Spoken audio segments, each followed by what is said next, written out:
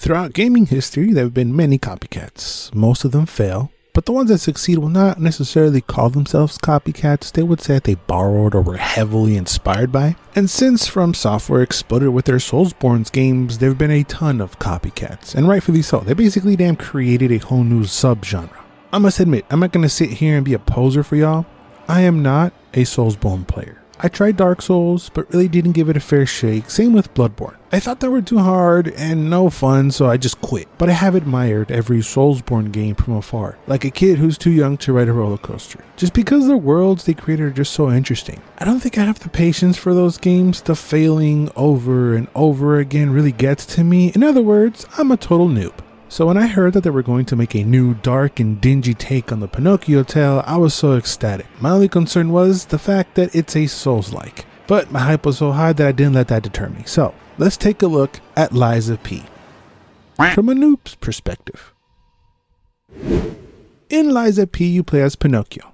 Not quite that one. Or that one. Ey, especially not that one. More like a Timothée Chalamet one. Yeah. Inspired by Collodi's novel, it tells the story of P, a robot puppet boy who is special from the other puppets because he can lie. This ultimately plays a big part in the ending you get. In the city of Krat, puppets were invented to help around the city, under the rule that they must obey all commands of their creators. And at the forefront of this was legendary inventor Geppetto, P's papa. The puppets one day bugged out and just started killing and attacking most of Krat's humans. So now it's up to us to liberate Krat from the puppets. While the story is interesting, it's not really what makes you stick around. You're not bombarded with cutscenes or heavy explanation dumps of what to do next. Your safe house, if you will, is the Hotel Krat, this beautiful building that you will be slowly start filling in with people who will sell items and upgrades to P. And it's with these interactions that you will start filling in bits and pieces of the story. Of course, along with story cutscenes and all. But what made me stick around and made me keep pushing through is the setting. This dank, dark, and dingy Victorian style is amazing. The detail they cram in the level is just wild. You can see the devastation the puppets created. The whole style and vibe the game has of hopelessness and ruin is truly felt. The enemy design of each puppet is great. Some do repeat. You will have like the officer puppet, but it's given a different weapon and attacks to keep it fresh. It truly created a whole new version of this legendary tale. And I think it all comes nicely with the music as well. Of course, there's some characters you will recognize. I do enjoy the occasional, oh, it's that guy moment.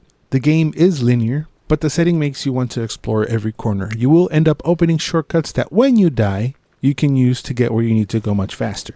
I just love the level design as well. It all connects with itself very nicely. The fire pits here are stargazers, and with it you can teleport to any other stargazer and the hotel. P has interchangeable mechanical arms that you can modify and upgrade. I enjoyed the variety that you get and trying to figure out what works best, not only for you, but in certain boss fights is actually pretty fun. There is a basic skill tree as well, offering more health, stamina, extra dodging, stuff like that. P stats are very Souls like. The whole game is about playstyle, so as a noob, I don't even know what my playstyle is. So the more I play, the more I start to figure out what that is, and I start to mold my playstyle and subsequently upgrade P to that playstyle. The biggest part of this are the weapons. There are two parts to each weapon, the blade and the hilt, and you can upgrade these separately. Some come with effects and bonus stats, and you can actually mix and match different hilts and blades to see what fits for you. So it took me a while to figure out that I don't like the tank feeling. I'm too slow, so the big bulky weapons aren't for me.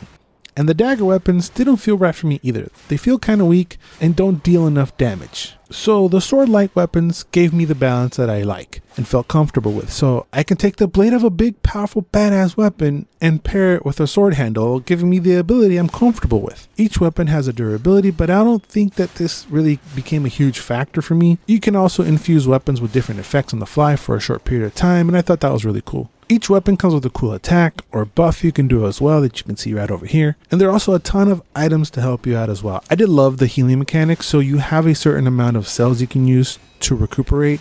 And when you run out, you actually have to build one back by attacking. There isn't an armor system, but you can change into outfits and put on masks that are purely cosmetic, and they're pretty cool, and I appreciated it. So, as a noob, the gameplay really does take time getting used to. I didn't feel comfortable in my abilities until like halfway through the game. That's probably because by then I had actually established my playstyle and molded P to more of my liking. But I feel like the main thing with these games is having a good sense of range. In the beginning, I struggled with this a lot. And that just comes down to being familiar with the weapon. Every move in combat must be calculated and precise. You can't just start flailing around. First off, you can't because of the stamina meter, but also because it opens you up to the enemy's attacks. So whether they're light attacks or strong ones, making sure that whatever you're going to do is actually going to hit them is pretty important. It also took some time for me to understand this as well. You can't actually cancel an attack, and because it takes P a second to perform the action you want them to, if you press the button to strike, he's going to strike. So if after you press it you want to immediately dodge, he won't until he's finished with his attack, which led to me getting hit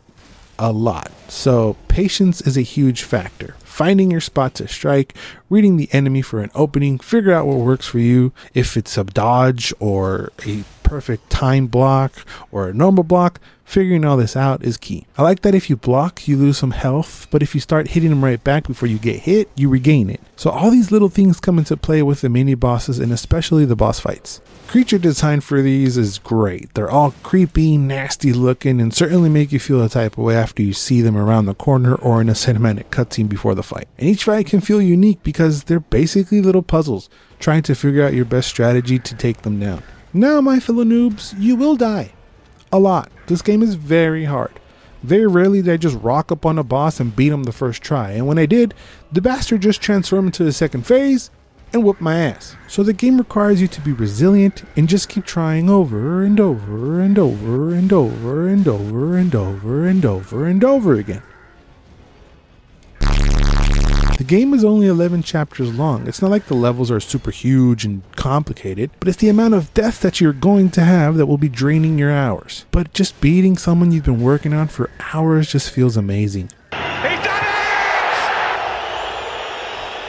I know this is the rush Souls fans love and what makes the Soul series great. It's like a drug. But again, to achieve this, you must not give up. And in Lies of P, the setting, the environments, the atmosphere, the level design, the enemy design, the intrigue of what actually lies ahead is what made it easy for me not to give up. I'm sure this is going to hold off Bloodborne fans at least a little until Bloodborne 2 comes out, if it ever.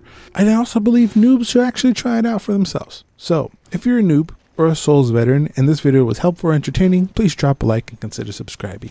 And for the Soulsborne veterans out there who have actually played Lies of P, how close is it to Bloodborne actually? Should I get into the series? Am I worthy? Please educate me down in the comments.